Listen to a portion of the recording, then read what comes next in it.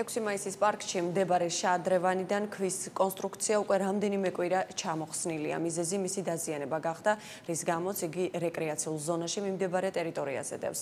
მუნიციპალური სერვისების სააგენტოს ინფორმაციით დაზიანებული ქვის შაადრევანის აღდგენაზე მუშაობა დაწყებულია. რა დრო დასჭირდება დასრულებას და როდის იხილავს დამთვალიერებელი სრულყოფილ სურათს? უწყებაში დამატებით კითხვებზე არ გვიპასუხეს.